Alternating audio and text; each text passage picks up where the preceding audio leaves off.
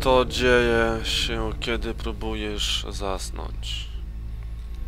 To dziwne uczucie spadania tuż zanim zaśniesz. Następnym razem, kiedy pójdziesz do łóżka i to poczujesz, daj się temu ponieść. Wytrzymaj i nasłuchuj. Nasłuchuj uważnie, bo nie będziesz w stanie utrzymać się na krawędzi zbyt długo. Tam już przed zaśnięciem usłyszysz dźwięk.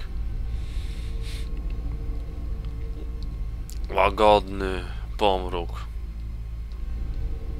Odległe echo. Jak ciche westchnięcie. Posłuchaj uważnie i zapamiętaj, ten dźwięk to odgłos Twojego ostatniego oddechu.